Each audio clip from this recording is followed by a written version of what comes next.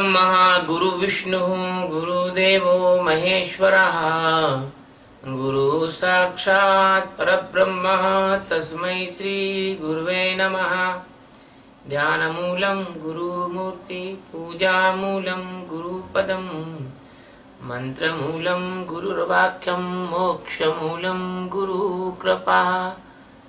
सदगुरु भगवान की जय स्वामी जी महाराज की जय। शिवो हम ये जो आज का सूत्र है, ये तेरवा वाला सूत्र है थर्टीन तेरह वाला सूत्र है। तो ये जो सूत्र ऐसा है, ततः संघर्ष भैर्यश्च। पणवानक गौमुखा। सह सैवाभ्य हनियंत सशब्द स्तु मूलो अभत। ततः, यानी इसके पश्चात, शंख, यानी शंख, च यानी और। धैर्य यानी नगारे च यानी तथा पणवानक यानी ढोल मृदंग। गौमुखा नरसिंह आदि बजे एक साथ सहसा। और उनके एक साथ बजने से जो शब्द हुआ सह यानी वह, अभ्यहंता यानी बज उठे उनको। तो तुमुल यानी बड़ा भयंकर अभवत यानी हुआ। उनके बजने से बड़ा भयंकर शब्द हुआ। तो आवाज़ जो बहुत ज़्यादा हुई। तो वैसे देखा जाए तो ये जो सूत्र है बड़ा सिंपल है। आदमी इसको कह के हट जाएगा, भैया, ये ये बाजे बज गए। अब हम इसके बारे में क्या बताएँ? बाजे बज गए बज गए। अब शंख के बारे में क्या बोलूँ? नगाड़े के बारे में क्या बोलूँ? ढोल के बारे में क्या बोलूँ? मृदंग के बारे में क्या बोलूँ? तो ये जो आपका अंदर का जो महाभारत का युद्ध होता है, ये बड़ी अशांति का है। जैसे अभी देखते ना, कोई ऐसा कोई त्योहार म्योहार आता है तो लोग पागल हो जाते अभी कल ही होली का त्योहार आने वाला है, परसों। पागल हो जाएँगे जगह जगह ढोल मजीरे बजा के घेर निकालेंगे, एक दूसरे के मुँह में रंग लगाएँगे, ये करेंगे, वो करेंगे, कीचड़ फेंकेंगे पुराने पुराने बदले निकालेंगे, होली के बहाने लोगों को रगड़ रगड़ के मारेंगे। होगा होली का बहाना। बेवकूफ़ समझ मतलब लोग साल भर का बदला भी लेते हैं होली पर। तो ऐसे कई प्रकार के जो अशांति के जो काम है इसके बारे में यहाँ बताया गया है कि अंदर के महाभारत युद्ध में जब हम परमात्मा की ओर जाते हैं तो परमात्मा की ओर जाने से रोकने के लिए ये तरह तरह के विक्षेप बाजे, ये तरह तरह की जो है आवाज़ें, ये तरह तरह के जो है क्रोध की, काम की, लोभ की, मोह की, ये ऐसी आंतरिक जो कोलाहल शुरू कर देते हैं।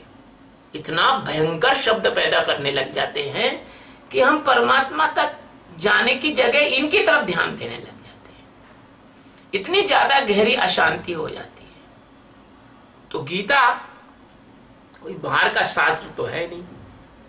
ये बाहर की कथा नहीं है, ये तो अंदर की कथा है। तो गीता का एक एक शब्द जो है, वो निरर्थक नहीं हो सकता है। गीता का जो एक एक शब्द है, वो बड़ा सार्थक शब्द है। तो इसमें जो कहते हैं कि इसके पश्चात, किसके पश्चात? जब ये इन्होंने शंख बजा दिया भीष्म पितामह ने दुर्योधन को हर्षित करने के लिए। तो इसके पश्चात जो और लहुए भहुए छोटे मोटे लोग थे, उन्होंने अपने अपने बाजे और शंख बजाने शुरू कर दिए। तो इतना कोलाहल मच गया, इतना कोलाहल मच गया कि कोई किसी की बात सुनने को तक वो नहीं आई। जैसे तुम्हारे अंदर इतना कोलाहल मचा रहता है, अलग काम वासना अलग, क्रोध अलग। लोभ अलग कोलाहल मचाता है है ना? और जैसे घर में रहते हैं अपन तो देखो तो बच्चे अलग चिल्ला रहे हैं तो देखो तो टीवी अलग चल रहा है तो देखो तो जो है पत्नी बोलती कि जी सब्ज़ी मब्जी लाए कि नहीं ये क्या रगल कर रहे हो? और माँ अलग बोलती है कि भैया मेरी दवाई खत्म हो गई ब्लड प्रेशर की। ये तू कौन से बाबा जी से बात कर रहा है? कल कर लेना, अभी सब्ज़ी लिया, अभी ब्लड प्रेशर की दवा लिया। तो ऐसे ही अंदर से जो है, जैसा बाहर होता है ना, परेशान करते हैं, साधक को साधना नहीं करने देते, ध्यान नहीं करने देते। जैसे ध्यान करने को भेजा तो फ़ोन बजने लग जाता है, कोई मोबाइल बजने लग जाता है। ये ध्यान करने को गरीब बैठा है, इतने में क्या हुआ कि कुत्ता घुस गया घर में तो वो उठा, उठ के कुत्ते को भगाने चला जाता है। है ना? तो ऐसा जो ये कोलाहल मचाते हैं, एक बार क्या हुआ कि एक घुड़सवार और एक जंगल में जा रहा था, जंगल में एक गाँव था।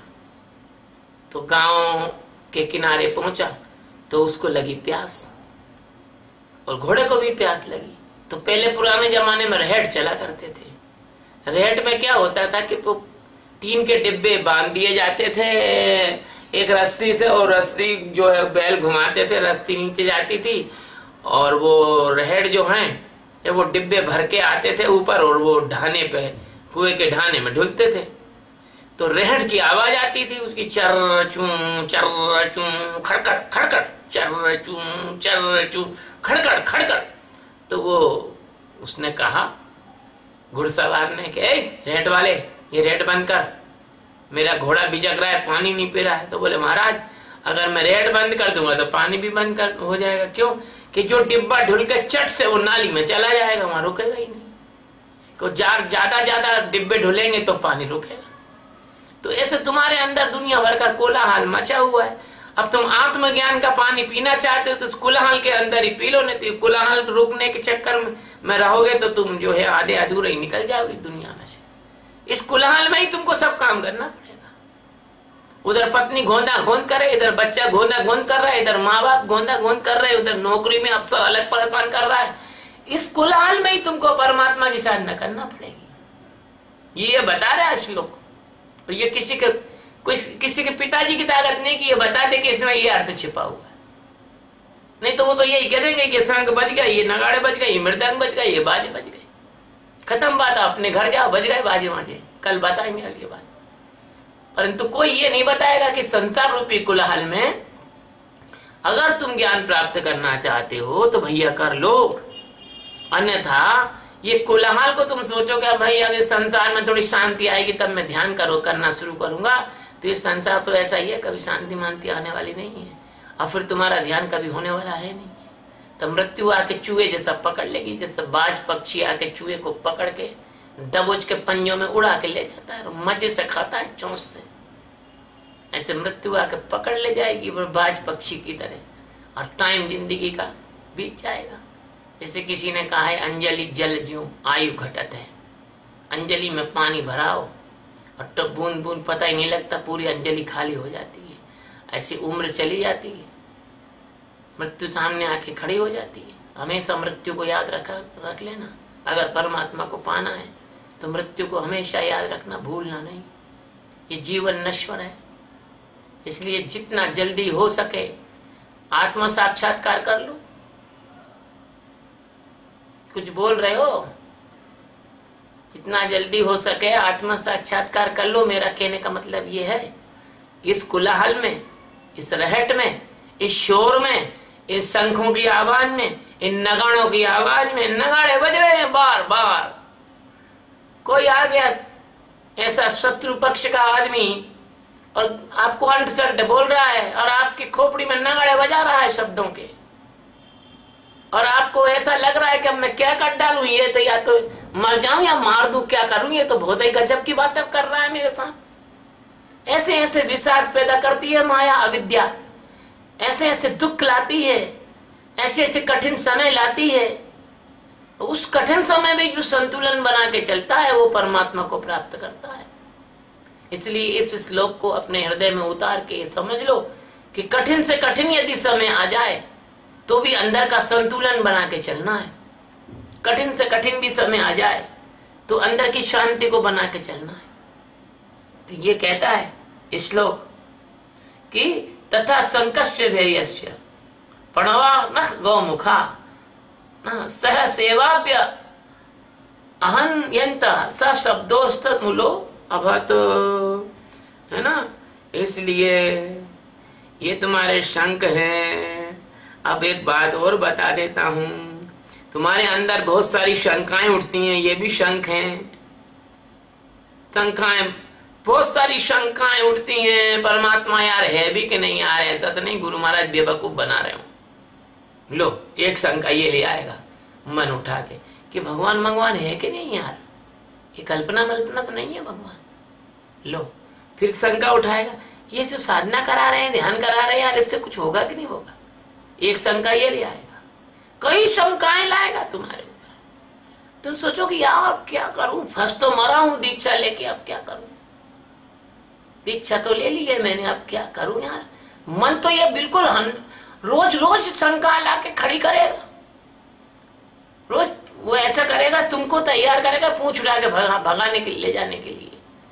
कभी कभी ये संग और नगाड़े बजाएगा। कैसे नगाड़े बजाएगा? अरे ठीक है यार, ध्यान में तो सब हो गया यार। वहाँ पे एन ऑफ़िस में वो टारगेट है, वो करानी अपन ने यार, वो अफसर आज चिल्लाएगा। उधर पत्नी कह रहे यार, घर में पैसा कौड़ी तो कुछ जाते कमाते नहीं हो। और मैं, मेरे को और परेशानी हो रही है। तुम एक काम करो, ये ये फालतू का चक्कर छोड़ो, तुम तो पैसा पैसा कमाने के चक्कर में लगो। वो नगाड़े अलग बज रहे और ढोल अलग बज रहा बच्चे अपना ढोल बजा रहे हैं, भैया मेरे को जाना है। ये पढ़ा दो मुझे, वहाँ ले जाओ। मेरे को फलाना काम है, मेरे को ये ड्रेस ला के दो। ये ढोल अलग बज रहे हैं। और मृदंग बज रही है कैसी? छोटे छोटे बच्चे रहते हैं, घर में बड़े प्यार प्यार से मीठा मीठा बात करते हैं। और मृदंग जैसी बड़ी सुंदर आवाज़ उनकी हो रहती है। अपन परमात्मा का ध्यान छोड़ के उनकी बात सुनने लग जाती हैं। ये हो गई मृदंग और नरसिंह बज रहे हैं ज़ोर ज़ोर से। नरसिंह बज तू तू तू तू तू तू, बहुत ज़ोर ज़ोर से बजते नरसिंह नरसिंह की आवाज़ सुनिए कभी? ऐसे वो भेरी टाइप वो वो महाराष्ट्र में ज़्यादा बजाते हैं नरसिंगे तो भैया, ये जो है ना, ये जिस तरह तरह के जो विक्षेपों के बाजे अपने अंदर बसते हैं तरह तरह की वासनाओं की आवाज़ें आती हैं तरह तरह की मांगे उठती रहती हैं तरह तरह का कूट कूट के माया मारती रहती है, चबाती, खाती रहती है, तुमको कहती है अच्छा बेटा, ठीक है, तुम परमात्मा की ओर जा रहे हो, ठीक है। करते हैं, तुम्हारा इंतज़ाम करते हैं। कुछ ना कुछ लपेटा चपेटा तुम्हारी तरफ़ फेंकती है तुम कहते तो स्वामी जी, अभी ध्यान में तो यार दो चार दिन बाद करेंगे। अभी एक चक्कर आ गया है, उससे निपट लें जरा हम। है ना? देखो ना वो, एक बेवकूफ़ आदमी ने अपने को पहले चक्कर में डाला था, एक साल पहले। है ना? वो झूठी झूठी फ़ोन कर देता था, अपने को अपन परेशान हो रहे, पिताजी बेचारे इधर उधर भागे फिर रहे। याद है कि नहीं? यही है। यही है ये। इसी को कहते हैं। माया क्या करती है? एक साथ कुलाहल खड़ा करती है। एक साथ कोलाहल खड़ा करती है।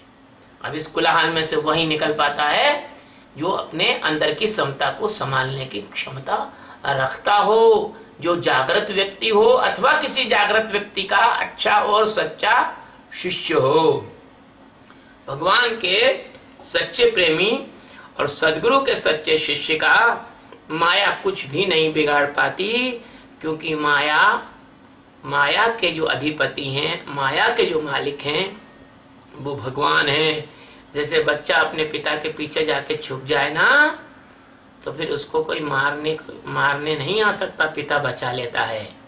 ऐसी माया, भगवान की भक्ति और भगवान के प्रेम और सदगुरु के प्रेम और सदगुरु के मार्गदर्शन में ध्यान साधना इत्यादि करने से और सदगुरु के प्रति मन में अटूट भक्ति रखने से और सदगुरु के मार्गदर्शन में परमात्मा की ओर यात्रा करने से माया उसका कुछ नहीं बिगाड़ सकती। वो माया की सीमा से व्यक्ति पार चला जाता है और ये जो कोलाहल है, इस कोलाहल में भी वो भगवान को प्राप्त कर लेता है। सदगुरु भगवान की जय। स्वामी जी महाराज की जय। शिवोहम। आज इतना ही।